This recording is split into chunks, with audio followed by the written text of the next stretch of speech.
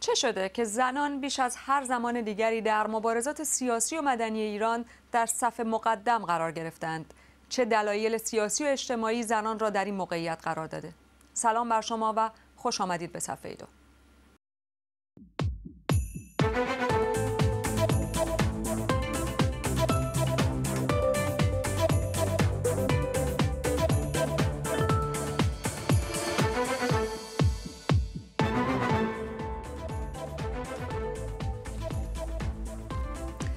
سپید قلیان زن جوانی که نامش با اعتراضات هفت تپه سر زبان ها افتاد خبر داده که حکم جلبش آمده و باید با اتهام شرکت در تجمعات آبان در دادگاه حاضر شود. او کسی است که بعد از آزادی موقت از زندان درباره شکنجه گفت و اعتراف اجباری و حالا هم از تهیه کننده و گزارشگر برنامه 23 تلویزیون ایران به خاطر مشارکت در اعترافگیری شکایت کرده. نرگس محمدی می‌گوید با ضرب و شتم به زندان زنجان منتقل شده چون در اعتراض تحسن کرده بود. شهناز اکملی، ناهید شیرپیشه و گوهر عشقی و بسیاری مادران دیگر به خونخواهی جوانانشان برخواستند و ساکت نمی‌شوند. دختر آبی برای راه یافتن زنان به استادیوم خودش را فدا می کند و زنهای زیادی برای اعتراض به حجاب اجباری تن به خطری می دهند. ده زن دانشجو و فعال در اعتراضات سالهای اخیر بازداشت شدند و حتی تلویزیون جمهوری اسلامی زنان را رهبر معترضان آبان معرفی می کند. چه شده که نقش زنان در فعالیت های سیاسی اجتماعی ایران تا این حد نمود یافته. چه شرایط اجتماعی باعث شده که زنان به صف مقدم اعتراضات بیایند. برای بحث سه مهمان داریم. مهدیه گلرو فعال سیاسی و اجتماعی از ترکیه با ماست.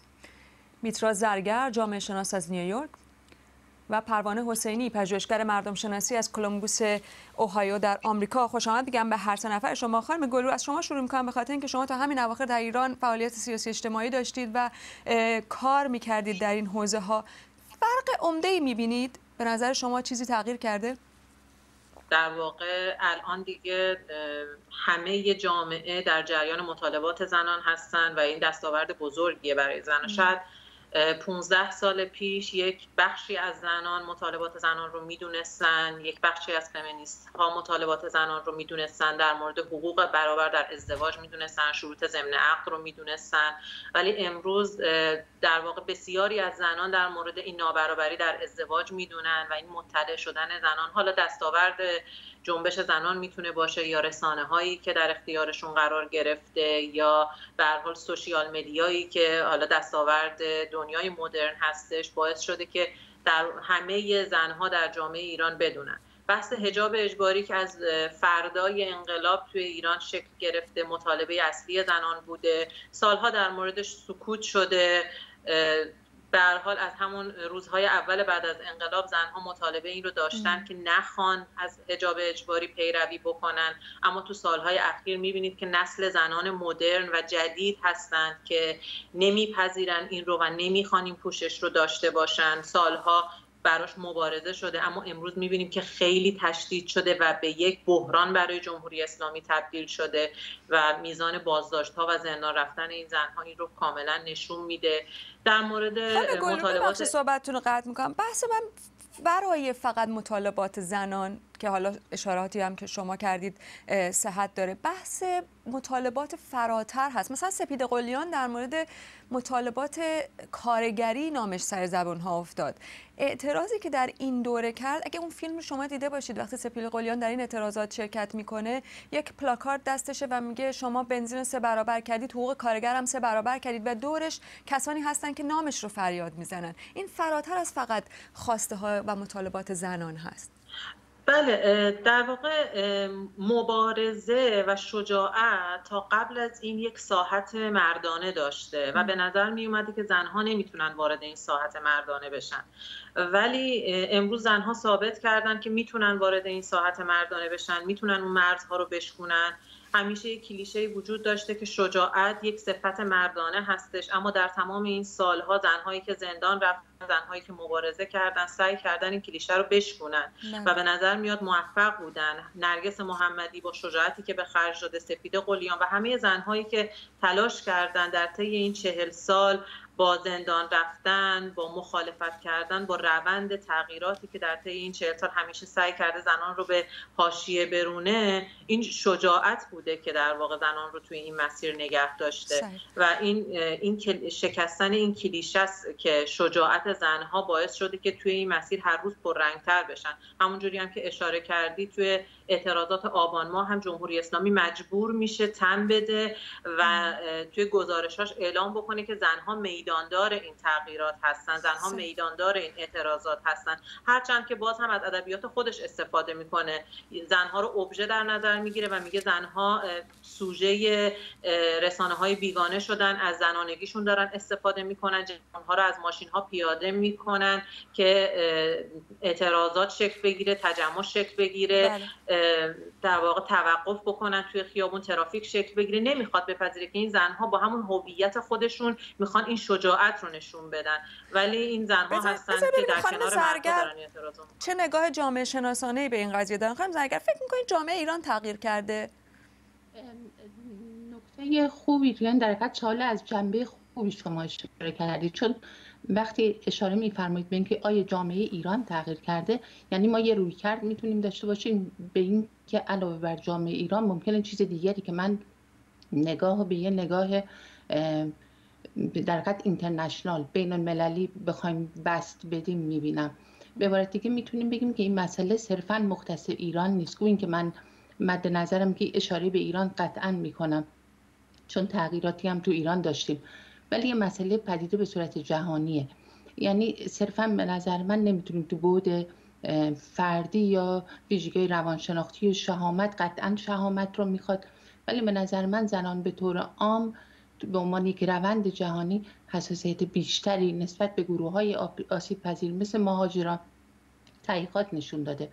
مثل گروه های جنگ زده طبقات فرودست اقتصادی و حساسیت نسبت به مسائلی مثل جنگ یا مشکلات زیست محیطی دارن و مشارکت خیلی بیشتری دارن نسبت به مردان و رهبری این جنبش ها جنبش های ضد جنگ جنبش های زیست محیطی عموما توسط زناست و مشارکت زیادی دارن این روند جهانی خواه نخواه ایران نمی‌تونه ازش مسئول باشه. به خاطر اینکه ایران حالا من برمیگردم همینجا به خاطر اقتصاد پیرامونی که ما داریم خواه نخواه با جوامع دیگه در ارتباطیم. اینجاست که به بود داخلی یعنی من از دید اقتصاد اجتماعی می‌بینم مسئله رو. و اینکه ساختارهای داخلی اقتصاد پیرامونی ایران باعث شده که بسترهایی که زمین ساز جنبش زنانه مناسب این جنبش بشه. تبعیض علیه زنان همیشه تو طول تاریخ وجود داشته. تو ایران وجود داشته. دوره قاجاری وجود داشته ولی ما شکلی اعتراضات رو به هیچ وجه به این شکل نمی‌بینیم. تو خیلی کشورهای دیگه. از جمله خاور... کشورهای خاورمیانه این مسئله وجود داشته ولی ما می‌بینیم اعتراضات نیست. بله. تو بود داخلی بخوایم مسئله رو ببینیم ایران دیگه یک اقتصاد بسته ایستا نداره که مبتنی بر روش های تولید سنتی و مناسبات خاص خودشه. اقتصاد ایران تغییر کرده. یعنی میفرمایید اقتصاد ایران از حالت مرد سالار خارج شده و با... نه نه, نه. من نه. ببینید ما نظام مرد سالار رو داریم. ولی ببینید بذارید من یه مثال کوچیک می‌زنم جامعه هند یک جامعه کاستی بوده. یعنی بله. طبقات اجتماعی با هم ارتباط نداشتن. با هیچ موعظه یا پند اخلاقی هم نمی‌تونستن این مناسبات از بین ببرن. چیزی که باعث شد امروزه در هند مناسبات کاستی از بین بره صنعتی شدن جامعه بود. نه اینکه بگم ایران صنعتی شده. خانم حسینی شما چه فکر می‌کنید در این باره؟ فکر می‌کنید که آیا جامعه ایران تغییر کرده. من خیلی از خانم‌ها خواهش می‌کنم که بحث رو روی مطالبات زنان به عنوان در واقع مسائلی که در مورد زنان در جامعه ایران مطرحه که می‌دونیم بیشمار هم هست نگه نداریم. بحث ما الان میره روی اینکه زنان در این اعتراضات سالهای اخیر میداندار هستند در بسیاری از موارد. بله ببینید مطالبات زنان اینجا نقش محوری رو نداره. همطور که شما به درستی دارید میگید ولی تجربه زنان هست. از تبعیض و از مطالبه گری که نقش خیلی مهمی داره. این که زنان همیشه مورد تبعیض بودن در این چهل سال باعث شده که یک تجربه ای رو داشته باشن هم درکشون بالا بره از تبعیض آگاهیشون بالا بره از تبعیض و هم روش های مختلف مطالبه گری، حقخواهی، مقاومت و مبارزه رو تجربه کرده باشن. از طرف دیگه زنان فقط به خاطر جنسیتشون نبوده که مورد تبعیض قرار گرفتن و این تجربه ها رو کسب کردن. از اونجایی که زنان در اقشار مختلف جامعه حضور دارن در میان کارگران وجود دارن در میان معلمان وجود دارن در حاشیه ها وجود دارن افراد داره گروه های مختلف محروم وجود دارن قومیت ها وجود دارن. این باعث شده که تجربه تبعیض جنسیتیشون رو بتونن وصل بکنن به تجربه های تبعیض اقشار مختلف. اون مجموعه این کولهواری که دارن از در آگاهی بالاشون از تبعیض و همینطور روش های مختلفی که در طول زمان کار بردن برای مقاومت و مبارزه اونها رو تبدیل بکنه به کسانی که قابلیت اون چیزی که ما میگیم رهبری رو داشته باشن در قیام های عمومی تر جامعه. وقتی که قیامی صورت می‌گیره ما داریم می‌بینیم که زنان به خاطر اینکه می‌دونن که آگاه هستن تجربه داشتن ریز ریز ببین ما وقتی که یه چیزایی رو داشتیم مثل مثلا کمپین یک میلیون امضا مثلا در خواسته ورود به استادیوم مثلا مبارزه با حجاب اینا درسته که به ظاهر فقط مطالبات زنان هستن. ولی همان زنان رو تبدیل می‌کنن به کسانی که دارن انواع روش های مقاومت مبارزه رو تجربه می‌کنن و وقتی که به زنگاه تاریخی قیام مردمی می‌رسه اینها همونهایی هستن که چیزهای مختلفی رو تجربه کردن و می‌دونن که چطوری می‌تونن تاثیر بذارن می‌دونن چجوری می‌تونن شبکه بسازن می‌دونن چجوری بر ترس خودشون الان دیگه این چیزی که الان توی این چند ماه اخیر توی این دو سال اخیر می‌تونیم بگیم خیلی شاخص هست. می‌دونن چجوری بر ترس خودشون غلبه بکنن و شجاعت به خرج بدن و همونطور که ترس مصری بوده چون شجاعت هم مصری هست اینو بستش میدن به جامعه و تبدیل میشن به رهبرانی که الان ما داریم می‌بینیم. مسئله دیگه راجع به ترس و شهامت صحبت شد در این برنامه. من می‌خوام خانم گلور از شما بپرسم که آیا تغییری در رویه حکومت می‌بینیم؟ به نظر میاد که پیش از این گفته می‌شد. من نمی‌دونم واقعا درست هست این ارزیابی یا نه. که با زنان رفتار در واقع آرامتری داشت سیستمی که می‌خواست در واقع اعتراضات رو سرکوب بکنه. اولا شما اصلا با این گزاره موافق هستید؟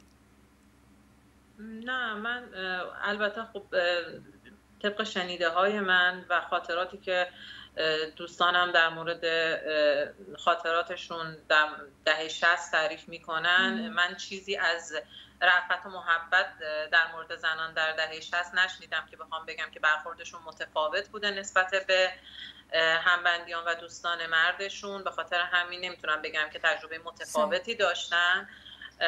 ولی خب به هر حال ما تو اعتراضات خیابون رفتار حکومت تغییر نکرده. چه چیزی تغییر کرده پس به نظر شما؟ چیزی که تغییر کرده ببینید با توجه به میزان ورود زنان به دانشگاه ها یه سری مطالبات انباشته در طی این چهل سال جامعه ایران داره. که در مورد زنان این افزایش پیدا می‌کنه. زنها در حال یک مبارزه هر روزه هستند توی ایران. یک زن ایرانی وقتی از خونه میاد بیرون یک مبارزه هر روزه رو به خاطر پوششش تجربه می‌کنه. یعنی یک چیزی که ممکنه که یک مرد در ایران این مبارزه رو هر روز تجربه نکنه وقتی از خونه میاد بیرون. اما یک زن ایرانی این مبارزه رو هر روز صبح وقتی روسریش رو سرش می‌کنه با بیرون اومدن از خونه هر روز صبح داره این مبارزه رو شروع می‌کنه و تجربه می‌کنه. یعنی مبارزه برای یک زن ایرانی یک مبارزه روزانه است. خب با میزان افزایش ورود زنان به دانشگاه میزان تقاضاشون برای بازار کار افزایش پیدا کرده. طبق آمار رسمی میزان بیکاری در مورد زنان دو برابر مردانه. در مورد زنان تحصیل کرده سه برابره. بحران بیکاری توی ایران خب خیلی چشمگیر در مورد اعتراضات آبان ما هم خب این جزو چیزهایی بوده که جزو جرقه های اصلی به نظر میاد توی بحران اقتصادی توی ایران. خب چرا نباید زنها توی این مسئله مطالبه جدی داشته باشن؟ وقتی که دو برابر و گاهی در مورد زنهای تحصیل کرده سه برابر نقش مؤثرتر دارن و مطالبه جدیتری دارن در مورد بازار کار. پس این نمی‌تونه فقط مطالباتی مثل حقوق برابر در ازدواج یا حجاب اجباری باشه. بحث های اقتصادی اینجا به میون میاد. بحث قدرت سیاسی به میون میاد. وقتی می‌بینن که توی مجلس جایی ندارن وقتی در ریاست جمهوری جایی ندارن. اینها مطالبات انباشته است که هم سیاسی هست هم اقتصادی هستش هم حقوقی هستش و همه اینها باعث میشه که احساس احساس کنن که در همه این اعتراضات باید حضور داشته باشن و خب به هر حال چیزی نیستش که در یک جا بشه اون رو خلاصه کرد. متوجه ولی بحث دیگه چیزی که اینو جالب می‌کنه واکنش حکومت و طرح و برنامه های حکومت ظرف سالهای گذشته است برای اینکه زنان رو در اون چارچوب خانواده و در واقع مادر نگه داره. خانم زرگر فکر می‌کنید آیا زنان دارن واکنشی نسبت به اون شیوه هایی که حکومت بهشون دیکته می‌کنه حرکت می‌کنه؟ واکنشی در به صورت عکس عملی در جهت خلاف اون. به این مفهوم باشه بله. من می‌تونم این سوال رو در ارتباط با سوال پیشین جواب بدم چون بس نیمه کارمون. ببینید موقعی که من عرض کردم اقتصاد سنتی سنتی نیست دیگه. اقتصاد پیرامونی منظورم اینه که دیگه روش های تولید صرفا روش های تولید سنتی نیست. این نوع ساختار یه نوع یه مقدار مشکلات زیادی رو برای جنبش و جریانات زنان به وجود میاره. نه فقط برای جنبش زنان کلا برای جنبش اجتماعی ایران. من توضیح میدم خدمتون ولی برجت بخواهیم یعنی یا نخواهیم بگیم اقتصاد مرد سالار هست ولی با این وجود ساختار این ساختار اقتصادی به صورتی ناموزون به هر حال رشد و گسترش شهرنشینی رشد آموزش و تحصیلات عالی افزایش تقاضا برای مشاغل مبتنی بر تخصص و ارتباط با دیگر جوامع رو به دنبال خودش داره. به عبارتی می‌بینیم که این جامعه برخی از زیرساختهای ماهویش زیرساختاش تغییر ماهوی کردن و جامعه هم در ابعاد عینی و هم در ابعاد ذهنیش تغییر اساسی کرده. در این حال ما می‌بینیم که علا رقم اینکه جامعه تغییرات اساسی کرده ساختارهای انحصار طلب سیاسی داریم که بدون توجه به تغییرات جامعه و بدون توجه به نیازهای واقعی و مطالبات ناشی از تغییرات شرایط جامعه به خصوص در ارتباط با زنان سعی می‌کنه مناسباتی رو تحمیل کنه که در تعارض با نیازهای واقعی جامعه است. مثل اینه که یک آدم بزرگ بشه ما بخوایم یک لباس کوچیک و تنگ رو به زور تن این بکنیم بله. این جامعه ایران دیگه جامعه ایستا و بسته دوره قاجار نیست جامعه تغییر یافته است که دیگه به قالب های فرهنگی گذشته بر نمیتا بر نمیگرده و در بله. نتیجه ما این واکنش ها رو می‌بینیم در عین حال می‌بینیم که نظام سیاسی حاکم به خاطر اینکه مشروعیت ایدولوژی خودش رو بر مبنای اون قرائت های اسلامی که از مذهب گرفته و پاشنه آشیل اون هم زنان هستند و به خاطر حساسیتی که در ارتباط با مسئله زنان ارزش ها و هنجارهای معطوف به زنان وجود داره حساسیت اینجا خیلی بالاتره بله. در نتیجه ما می‌بینیم که این پتانسیل تغییر اجتماعی برای جنبش زنان شاید می‌تونیم بگیم در تعارض با در اون چیزی که حبل المتین نظامه. من نمی‌دونم ببینید اینطوری بگم که نظام سیاسی حاکم به نظام ایدولوژی دست کم به لازم نظری مشروعیت خودش رو از ارزش و ایدولوژی دینی می‌گیره. و بله. سعی می‌کنه هرچه بیشتر و تمامتر هنجارها و ارزش های دینی رو به جامعه اعمال بکنه. و تویی کردن وجه ایدولوژیکش که به خصوص بارش روی زن هاست که ما می‌بینیم مثلا مسئله هجاب زنها به عنوان یک سمبل مثل یک پرچم برای این حکومت شده. متوجه. اجازه بدین این رو از خانم حسینی بپرسم. خانم حسینی بحث این که به هر حال جامعه ایران جامعه مرد سالاری هست با علیرغم تمام تغییراتی که در این سالها هست شاهدش بودیم خانم هم توضیح دادن آیا جامعه آمادگی رهبری زنان رو داره؟ جامعه الان تغییری که من احساس می‌کنم توی این یکی دو سال گذشته در مورد جامعه این هست که ببینید مردها وقتی که جمهوری اسلامی یکی از بناهاش رو گذاشت بر اساس تبعیض جنسیتی. یک سری امتیازهایی که به مردها داد و این باعث شد که مردها تا یه مدت زیادی آگاه نشن به اینکه با گرفتن این امتیازات در واقع دارن به صورت ریشه‌ای تقویت می‌کنن سیستم تبعیض رو. الان من چیزی رو که احساس می‌کنم در این چند وقت اخیر اینه که این آگاهی داره به وجود میاد و اون سکوتی که قبلا مردها در مقابل تبعیض جنسیتی می‌کردن به خاطر اینکه فکر می‌کنم متوجه نبودن که به نوعی این یعنی تقویت سیستم تبعیض و تقویت دیکتاتوری که به جای دیگهی به خودشون در تبعیض دیگهی در ظلم دیگهی به خودشون هم برمیگرده الان متوجه اون مسئله ریشه‌ای شدن و اون همدستی پنهانی که صورت داشت رو دارن می‌بینن و نمی‌خوان دیگه. یعنی اون قسمت باعث میشه. و همینطور می‌بینن که زنان در طول مسیر مبارزهشون چه دستاوردهایی داشتن چه شکلی تونستن مقاومت بکنن. گرچه ممکنه به اصل هدفشون هنوز نرسیده باشن. ولی اگر تعریف دستاورد رو بدونیم که با هدف چه تفاوتی داره دستاوردها رو به مرور زمان دیدن. این که به صورت ریشه‌ای متوجه بشن که تبعیض رو به هر شکلش باید بهش مخالفت و اینکه متوجه این بشن ببینن که یاد بگیرن ان زنان که چطوری مقاومت رو ادامه بدن و ادامه بدن و ادامه بدن. این باعث میشه که یک قابلیتی وجود داشته باشه که حالا نمی‌تونم بگم که حتما بپذیرن رهبری رو ولی حداقل قبول بکنن که زنان در خط اول قرار گرفتن و اگر بخوان موفق باشن باید حداقل به مطالبات چه جنسیتی زنان چه تجربه زنان احترام بذارن و ازشون به باشون همکاری بکنن.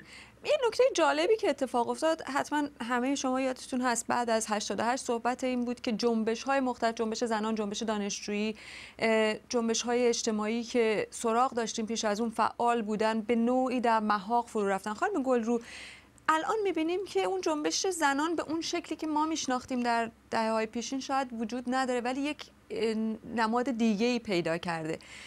فکر می‌کنید که این آیا در واقع اشتباه حکومت بود برای برخورد با جنبش زنان؟ چون به هر حال حکومت می‌خواست به نوعی جنبش زنان رو ساکت بکنه. اما اون که اتفاق افتاد به نظر میاد که یک جنبشی هست که از همه سو سر برآورد. یعنی جنبش سیاسی هست جنبش اجتماعی هست اعتصابات هست.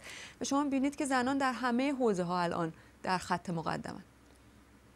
بله متاسفانه بعد از خب یک دوره شکوفایی که از سال 76 تا 88 جنبش زنان داشت تونست کمپین هایی رو داشته باشه انجیو های متفاوت و متنوعی رو داشته باشیم و خب خیلی دوره خوبی بود. بعد از 88 با یه سرکوب خیلی جدی جنبش دانشجویی و جنبش زنان مواجه شد و جنبش کارگری و خب واقعا به سختی بعدش تونستیم یه فعالیت های حداقلی داشته باشیم و همچنان هم به سختی میشه شاید کاری کرد ولی خب دستاوردش این بود که خیلی فراگیر شد خیلی فکر می‌کنید چی باعث شد فراگیر بشه؟ آیا آیا سوشال مدیا در واقع رسانه های اینترنتی باعث شدند؟ آیا تغییری در واقع زنان به خاطر اینکه اون فضا رو دیدند آشناتر شدن به موضوع؟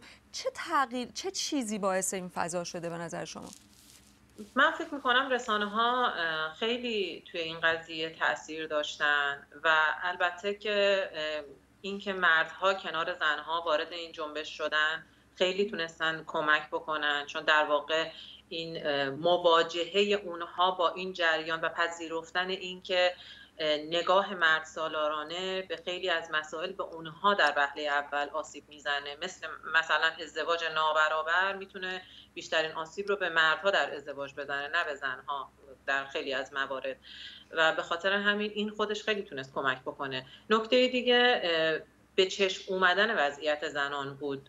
مثلا وقتی که یک زن فوتبالیستی نمی‌تونست از کشور خارج بشه تا قبل از اینکه رسانه‌ای وجود داشته باشه شاید کمتر زنی متوجه می‌شد اصلا خروج از کشور یعنی چی و حتی چطور ممکنه که یک زنی اجازه خروج از کشور نداشته باشه. اما وقتی یک دفعه این رسانه‌ای می‌شد که فلان فوتبالیست امکان خروج از کشور نداشته به خاطر اینکه شوهرش اجازه نداده من تو خیلی از دانشگاه که می‌رفتم و توی ورکشاپ ها و کارگاه هایی که شرکت می‌کردم همه می‌پرسن واقعا دانشجوهای 19 ساله می‌پرسن واقعا همچین اجازه می‌تونه مرد بده و می‌تونه مرد اجازه نده که همسرش از کشور خارج بشه یعنی یک همچین خبری به واسطه اینکه یک همچین اتفاقی افتاده بود یک خبر می‌تونست باعث بشه که تازه همه اون بچه ها متوجه بشن که یک همچین اتفاقی می‌تونه بیفته بله. یک همچین اخباری باعث می‌شد که جامعه درگیر بشه و متوجه این اخبار بشه و این خودش خیلی می‌تونست کمک بکنه و بعدش توی اون جریان قرار بگیرن. خیلی از بچه های جوان خیلی از دانشجوها و این خودش خیلی می‌تونست کمک بکنه به اینکه اون بحث تازه توی جامعه جا بیفته و در موردش حرف زده بشه. خانم اگر فرصت کمی داریم آیا شما خوشبین هستید به این روند؟ من نمی‌خوام چیزی بگم خوش یعنی باعث خوشبینی بشه. ولی من یادم مانوئل کاستل جامعه شناس اسپانیایی سال 85 که به ایران اومده بود سه بار در پاسخ به این سال که آیا کدوم یکی از گروه های اجتماعی ایران هکرها، کارگرها و سایر گروه های اجتماعی ایران اسباب تغییر در ایران میشن هر سه بار پاسخ داده بود هیچ کدوم مگر زنان گفته بله. بود زنان بازی بازیگران اصلی تغییرات اجتماعی ایران متشکرم از شما خانم زرگر. متاسفانه وقت ما تموم شد. خانم حسینی خانم زرگر و خانم گل رو متشکرم که در این بحث شرکت کردیم و ممنون از شما که با این صفحه دو همراه ما بودید. برنامه بعدی ما روز پنجشنبه. شب و روزتون خوش.